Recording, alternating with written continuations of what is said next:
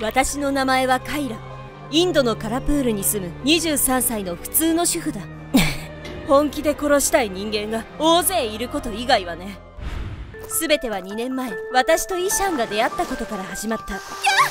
向こうへ行け。イシャンは毒蛇に襲われた私を助けてくれた。私はイシャンの勇気と優しさに惹かれて。大丈夫ですか？はいありがとうございます。自然と交際がスタートしたしばらくすると彼はプロポーズをしてくれた。カイラ結婚しよう。一生大切にするよ。嬉しい。それから幸せな結婚生活が始まるはずだった。でも現実は違っていた。イシャンの両親と同居した私はあんたの肌はどうしてそんなに浅黒いの？汚らわしい。毎日のようにひどい嫌がらせを受けた。だがイシャンは全く助けてくれなかった。お前は居候なんだ。多少のことは我慢しろ居候？私のことそんな風に思ってるの？それどころか義母と一緒になって私を責め立てるのだ。カイラなんだこのまずい料理は？もっとうまく作れないのかしら？家事も全て一人でやらされ寝るのはいつも深夜。私にとって毎日が地獄だった。たまに親戚が集まると。カイラ飲み物がないぞ。まったく気が利かないやつだな。早くしてよね。すみませんみんな私のことを召使いのように扱った。夫は自分を大きく見せるためか。みんなの前でいつも私を蔑んだ。仕事も遅いし料理も下手でほんと困った嫁なんだ。毎日説教ばかりしてるや。それで他のみんなもますます私を見下すようになったのだ昔見せてくれた夫の優しさは上辺だけのものだった。あの時は毒蛇からも守ってくれたのに。私の中の愛情はスーッと消え失せそれが殺意へと変わっていた。私は何とか復讐する方法はないかと考え始めた。そして夫と出会ったあの日のことを思い出す。するとこのインドにはインドコブラカーペットバイパーラッセルクサリヘビアマガサヘビなど四大毒ヘビと呼ばれるヘビがいることが分かった。この毒が手に入ればそんなある日義母の誕生パーティーが開かれることになった。親戚を集めて盛大にやるからあんたは給仕をお願いね。わかりました。もちろん私はパーティーには参加できず料理を運ぶ係を命じられた。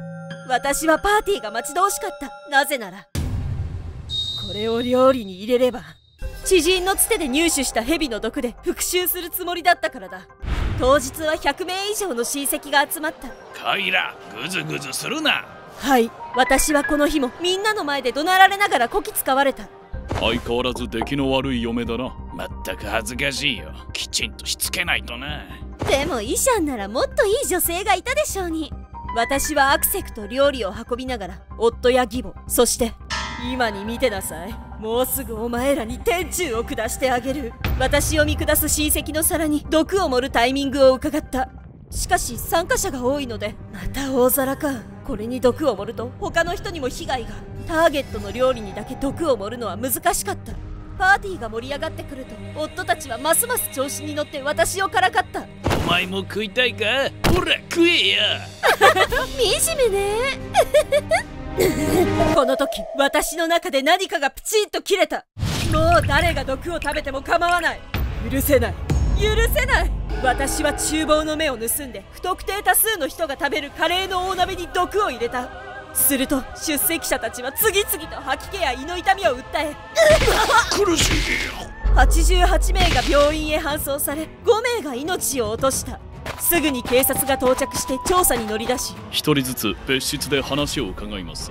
出席者や厨房の関係者に事情を聞き始めた逃れることはできないだろうと思った私は自首した。蛇の毒を入れました。日頃の恨みです。言い逃れするつもりはなかった。復讐さえ遂げられればそれでよかったのだ。でも皮肉なことに日頃から私に嫌がらせをしていたあいつらは誰一人被害を受けず全くの無傷だった。結局誰にも復讐できないまま逮捕され死刑に処されることになった。呪ってやる！呪ってやる！私を貶めた奴らへの怨嗟の念を抱きながら私の人生は幕を閉じた。